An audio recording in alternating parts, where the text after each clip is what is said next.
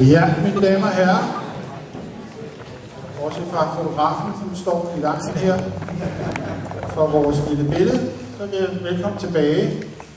Og øh, den blev fem minutter længere, fordi øh, jeg skulle lige snakke lidt med nogle mennesker. Men den nye hypotese, som øh, jeg har lovet jer her efter pausen, øh, tager sit udgangspunkt i den der midlertidige rapport, som vi kom med i 2004.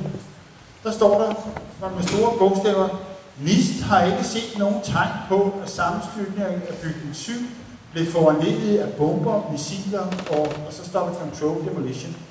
Bomber og missiler. Hvorfor skriver NIST det i 2004? Øh, der er ikke nogen, der har snakket om bomber og missiler. Og hvad betyder control demolition? Nu skal jeg vise jer. Det hedder kontrolleret nedrivning på dansk. Og den øh, ser sådan ud larmer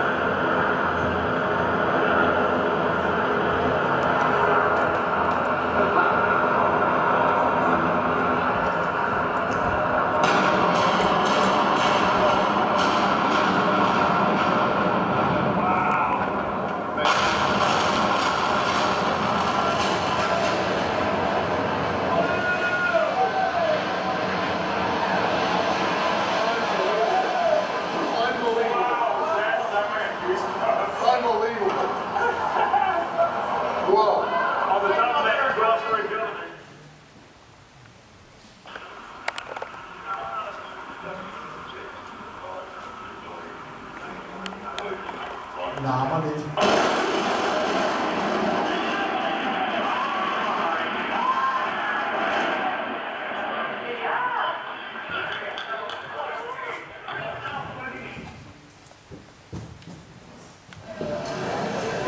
Der er ikke så meget.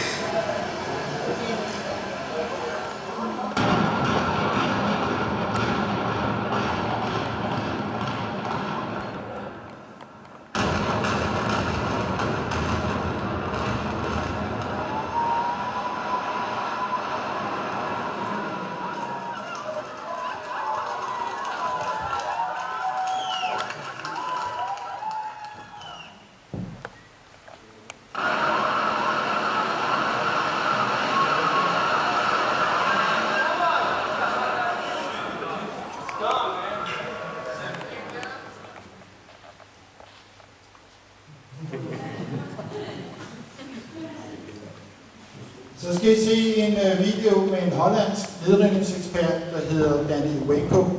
For nogle år siden, der øh, satte øh, Hollands TV ham foran en computerskærm øh, og viste ham bygning 7. Han vidste ikke, hvad han så. Han er en af de mest, var. Øh, han er en af de mest fremtrædende, var en af de mest fremtrædende europæiske nedrivningseksperter. Det foregår på hollandsk, men øh, der skulle være danske undertitler på. De mensen die geloven in het complot hebben het vaak over gebouw nummer 7. Dat was een wolkenkrabber van 47 verdiepingen naast de Twin Towers. Op 11 september 2001 heeft er brand gewoed, maar er is nooit een vliegtuig in gevlogen. Toch is ook dit gebouw op 11 september ingestort. Deze gebeurtenis heeft nooit veel aandacht gekregen en ook Denny Jowenko heeft er nooit van gehoord. Zijn reactie op de beelden die we laten zien is onbevangen. Zie je vanaf boven gaan? Nee, je gaat vanaf onder. Die gaat vanaf onder, ja. Toch? ja. Ze hebben gewoon kolommen weggeblazen. Er is nagesprongen. Dit Dit valt anders dan het World Trade Center. vind je niet dan? Ja, je ziet het, de onderste verdiepingen gaan eerst. Ja, en de rest zakt er gewoon in. Dus eh, dit is control demolition. Zeker weten. Zeker weten. Er is nagesprongen. Dit is in opdracht gebeurd. Dit heeft een team gedaan van experts. Maar dit is ook op 11 september gebeurd. Dezelfde dag? Dezelfde dag. Dezelfde dag? Weet je dat zeker? Ja.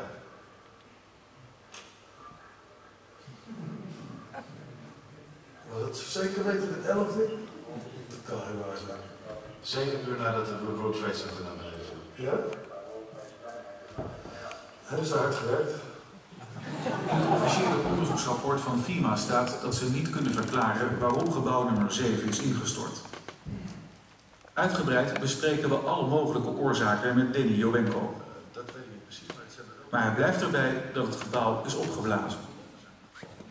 Het is vakwerk, zonder meer. We weten heel goed wat ze doen, die jongens.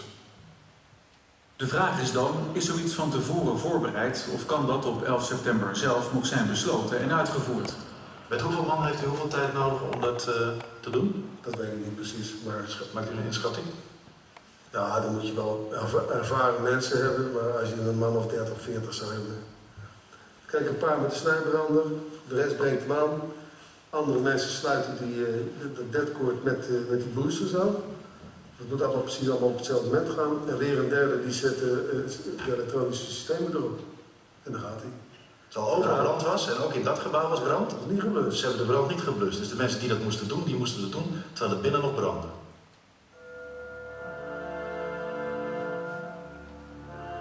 Ik ook heel vreemd. Ik heb geen verklaring voor. Nu skal jeg høre en anden person. Ja, har du et spørgsmål? Ja, svarer han nogensinde på, hvor lang tid det vil tage at forberede? Nej, det gør han faktisk ikke. Øh, måneder, halve år.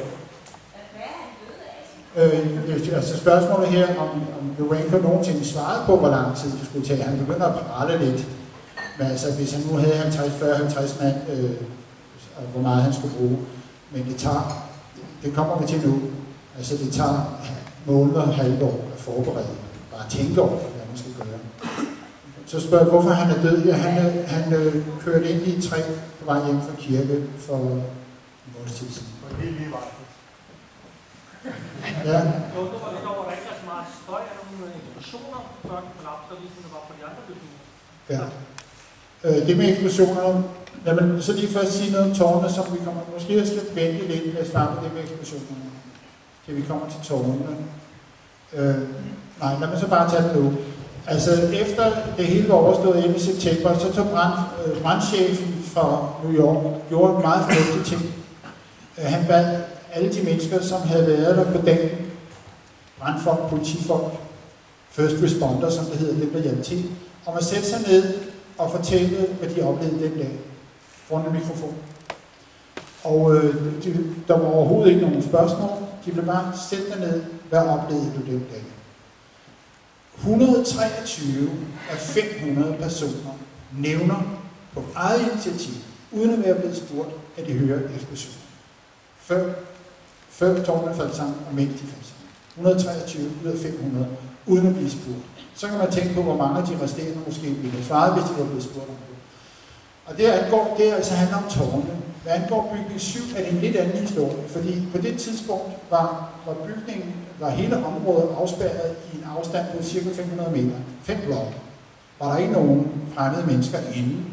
Så hvad der har været af tilskuere, som ikke var ansat, sagt, i sikkerhedstjenesten, de øh, stod uden for nogle afspærringer kunne faktisk høre, der var rapporter, jeg siger klap, klap, klap, de kunne høre eksplosioner, når det faldt. Derudover er der, men ikke i så stort omfang, rapporter fra folk i løbet af eftermiddagen faktisk. Der er en videooptagelse, hvor nogle af to brandfolk, tror jeg det er, skal ringe hjem, de står foran en telefonboks, bam, bam, bam, så kommer der eksplosioner fra bygning 7.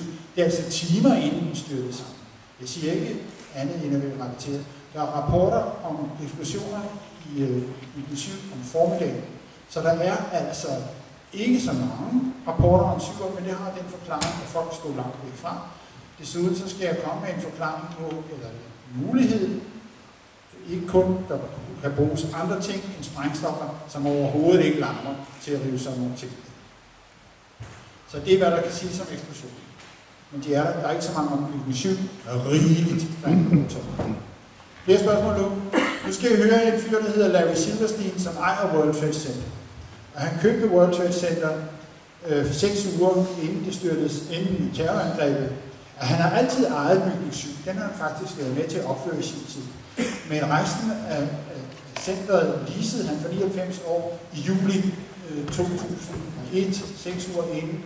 Og øh, det var forskellige ting, blandt andet skiftede han det firma ud, som stod for sikkerhed i komplekset. Og så forsikrede han hele Molvitten på ny for 3,5 milliarder dollars, blandt andet mod terrorangreb. Og øh, da de så senere blev ramt af to flymaskiner, øh, så mente han, at han skulle have 7 milliarder dollars i erstatning. Og det fik han næsten. Så vidt jeg forstår, så endte man i et kompromis på 5,6 milliarder dollars. Larry Silverstein skal jeg se en optagelse med ham nu, fra en, øh, noget, der hedder Public Broadcasting System, som er det eneste ikke reklamefinansierede netværk i USA, som lavede en udsendelse, der hedder America Rebuilds, en time et år efter øh, 11. september. Og der blev Larry Silverstein spurgt om, øh, hvad han mente om det der med bygning 7. Og jeg skruer lidt, lige, lige lidt op for det igen her. Nu kommer ikke flere eksplosioner. I remember getting a call from the uh, fire department commander telling me that they were not sure they were going to be able to contain the fire. I said, you know, we've had such terrible loss of life. And this one thing to do is, is pull. Uh, and they made that decision to pull, and then we watched the building collapse.